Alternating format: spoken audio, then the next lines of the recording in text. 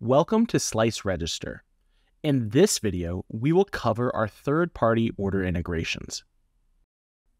By enabling this feature, you will be able to receive your orders from third-party ordering platforms directly into Slice Register. This will help you centralize your orders into one place and simplify your operations. Let's see how this feature works.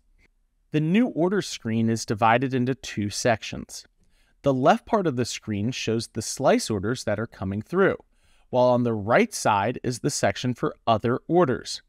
Here, you will receive orders from other online ordering providers such as Uber Eats, Grubhub, DoorDash, and more.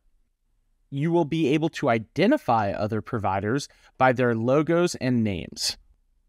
Managing orders, including scheduled orders, for both Slice and other platforms remains the same regarding accepting and rejecting orders. Once the new order is accepted, it moves automatically to the In Progress section, and once an order is marked as complete, it moves to the Complete section. The third party provider will be listed on the receipt for that particular order when printed to differentiate between the receipts. When rejecting orders, you will be asked for the reason for the rejection. The only difference between managing the slice and other third party orders is that orders from other providers will time out after your restaurant does not confirm the order in a specific amount of time. Different third party ordering platforms have different time windows in which they require an answer.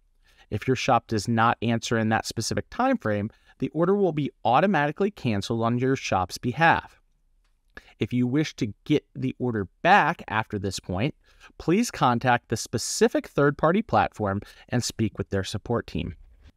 If for some reason it is necessary to adjust the order received from other providers, you will not be able to do so on the Slice register.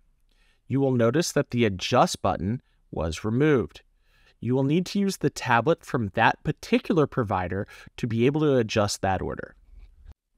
The third party order report is housed in the cash management screen in the report section and contains the sales summary and payment details information. The sales mix report in the owner's portal shows the sales by menu category slash item for third party orders.